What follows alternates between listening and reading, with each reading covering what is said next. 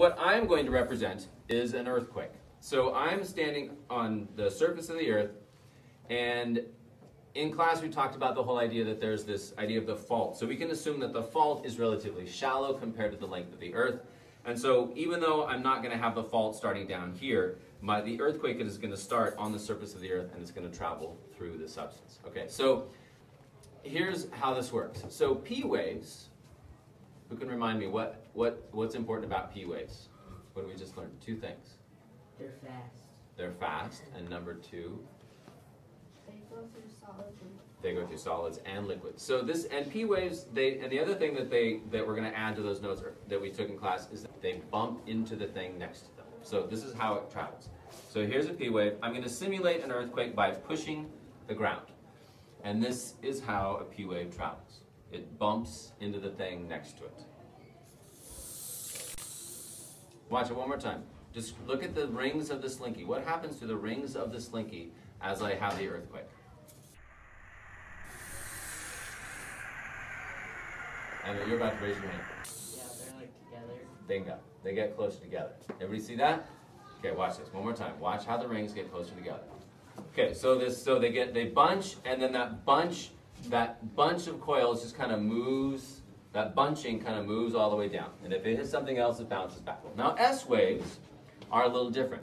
They move in a side to side motion. So to model how an S wave travels with the slinky, what I'm actually going to do is just take the earthquake and it's going to model a side to side motion. Now watch how the slinky moves. And here it is.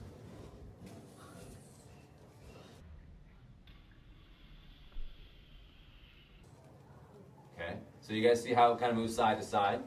So it's very different. Now, if there's a bit more energy to it, it'll bounce back as well.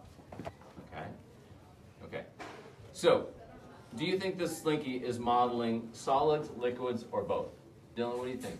Solids, liquids, both? Take solids. Okay, good. It's solid. So this is measuring solids. Okay? So, because S waves don't travel through liquids, right? So all models work to a certain extent. At some point, the model doesn't work exactly like it's supposed to. And that happens with every model, okay? And this is no different. So here we have a model of seismic waves of how they travel through the material using a slinky. Slinky is very commonly used, but it has some limitations to it. So P waves are the fastest, right? We learned that in class.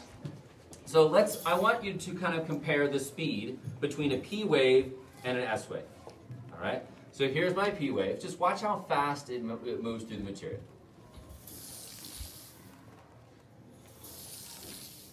One more time.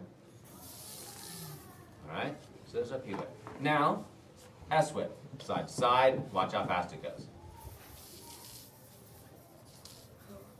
Okay, so which one went back and forth way more times?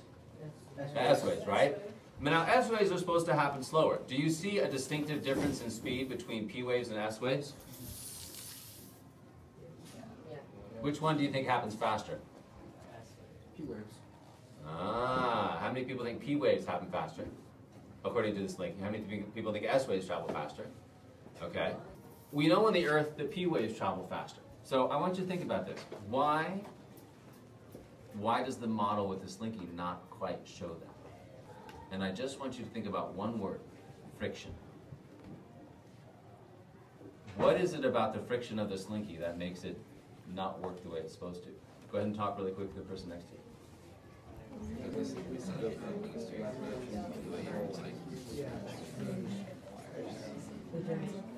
Okay. Anyone willing to to give me what you got? Quentin?